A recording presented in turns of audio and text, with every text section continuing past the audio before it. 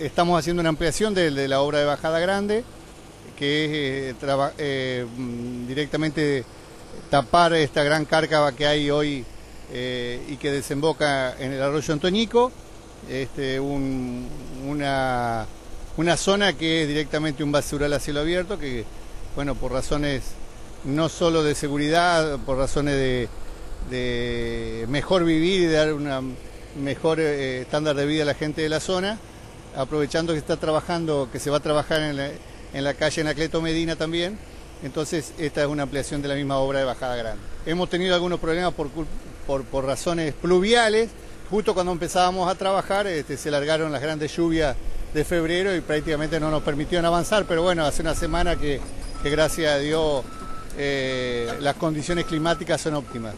Así que se, trabajando, se está trabajando a gran ritmo, con una gran cantidad de máquinas. Es un, un beneficio a los vecinos porque los vecinos no solo no van a tener este basural a cielo abierto, sino que eh, con la vecinal también ya se ha hablado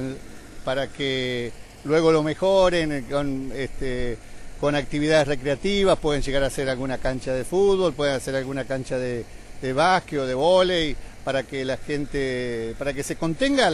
a los jóvenes del barrio y que sirva también como actividad recreativa.